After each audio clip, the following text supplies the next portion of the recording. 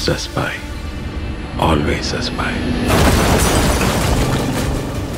আসসালামু আলাইকুম কেমন আছেন সবাই? দিস ইজ জাহিদ খান আপনারা দেখছেন Cinebros the right place for all the movie lovers এখন কথা হবে সাউথের লেটেস্ট ফিল্ম সর্দার এটা একটা অ্যাকশন স্পাই থ্রিলার সিনেমা এবং এখানে প্রধান চরিত্রে ছিলেন কার্থি চাঙ্কি পান্ডে এবং রাশি খান্না। এর বাইরেও অনেক ক্যারেক্টারদের এখানে দেখানো হয়েছে বাট তাদের গুরুত্ব আসলে সিনেমায় খুবই কম।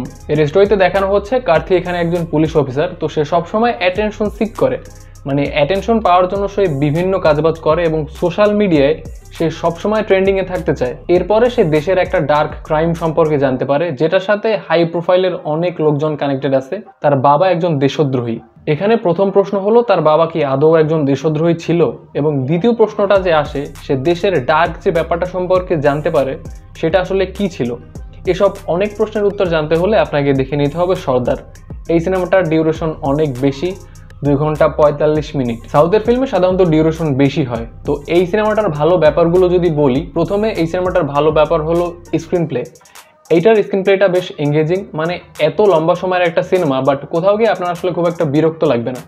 এবং এর সেট যেভাবে করা হয়েছে, সেটা হলো সিনেমাটা সামনে আগাচ্ছে। এর সাথে সাথে আপনার মাথায় অনেক প্রশ্ন গেঁথে দেওয়া হচ্ছে এবং আস্তে আস্তে একটার পর একটা ব্যাপার এক্সপ্লোর করা হচ্ছে। তো এই ব্যাপারটা একদম সিনেমা শেষ পর্যন্ত বজায় থাকে। এর মাধ্যমে কি হচ্ছে যে পুরো সিনেমা থেকে আপনি একদম সরে যাচ্ছেন না। মানে সিনেমাটায় আপনি ইনভেস্টেড থাকতেছেন। কার্থি এমনিতেই খুব ভালো অভিনয় করে, সুতরাং অভিনয়ের ব্যাপারে এখানে আসলে কারও কোনো ডাউট থাকার কথা না। এবং এই সিনেমাটার ট্রেলারে আপনারা অলরেডি দেখেছেন যে তাকে বেশ কয়েকটা রূপে দেখানো হচ্ছে। একটা জায়গায় তাকে ইয়ং পুলিশ অফিসার হিসেবে দেখানো হচ্ছে, অন্য আরেকটা জায়গায় তাকে একদম বুড়া টাইপের একটা ক্যারেক্টারে দেখানো হচ্ছে। তো এরকম আলাদা আলাদা অ্যাঙ্গেলে তাকে দেখে বেশ পারফেক্ট মনে হচ্ছে।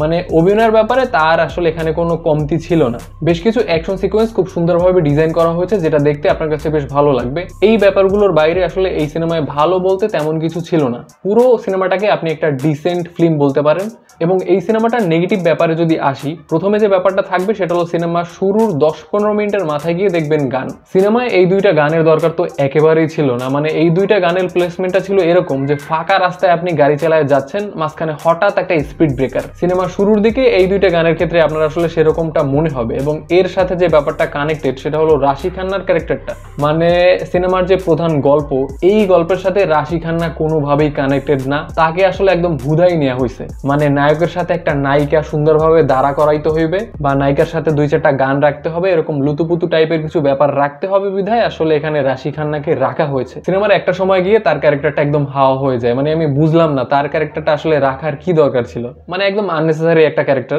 এই সিনেমার যে প্রধান বিষয়বস্তু থাকে মানে সিনেমাটার যে কনসেপ্ট যে বেজের উপর সিনেমাটা দাঁড়িয়ে আছে, সেটা ছিল বেশ ইউনিক এবং ইন্টারেস্টিং আই থিঙ্ক এই যে কনসেপ্টটা এই সিনেমাটার কনসেপ্টটাই অনেকের কাছে ভালো লাগবে। অনেকের কাছে না আসলে এই কনসেপ্টটা সবার কাছে ভালো লাগবে। এইরকম একটা ব্যাপার নিয়েও যে এত বড় আকারের একটা ডার্টি পলিটিক্স চলে, এটা আই গেস সবার কাছে ভালো লাগবে। সিনেমাটার বহু জায়গায় অনেক ব্যাপার তারা একদমই ডিটেইলে দেখায় নেয় এবং এই ব্যাপারগুলো আসলে সিনেমাটার ড্রব্যাক এখন অনেক ব্যাপার আমি আপনাকে মেনশন করতে পারতেছি না, কারণ সে ব্যাপারগুলো মেইন যে গল্প, সেটার সাথে একদমই কানেক্টেড তবে যে ব্যাপারগুলো আমি মেনশন করতে পারি, সেটা হলো এই সিনেমাটা ট্রেলারে আপনারা অলরেডি দেখেছেন যে এখানে একজন কয়েদিকে দেখানো হচ্ছে এবং তার পেছনে বাংলায় লেখা। তো এখানে এই কয়েদিটাকে চট্টগ্রামে একটা জেলখানায় আটকে রাখা হয়। খুবই ভালো কথা, ইন্ডিয়ার একজন কয়েদিকে চট্টগ্রামের একটা জেলখানায় আটকে রাখা হচ্ছে।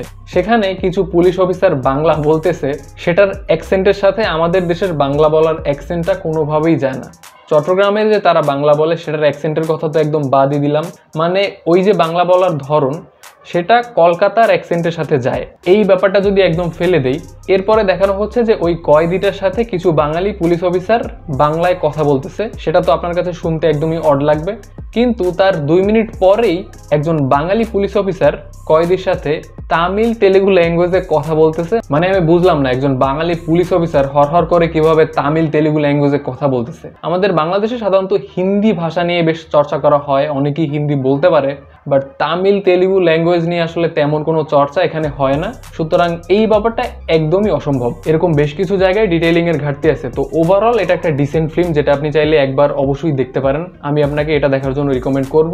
আমি gonna give it three point five out of five যদি অলরেডি কেউ সিনেমাটা দেখে থাকেন, তো আপনি আমাকে জানাতে পারেন যে সিনেমাটা আপনার কাছে কেমন লাগল। ভিডিওটি দেখার জন্য অসংখ্য ধন্যবাদ। যদি আপনি সিনেমাসে নতুন হন দেন চ্যানেলটি সাবস্ক্রাইব করতে পারেন।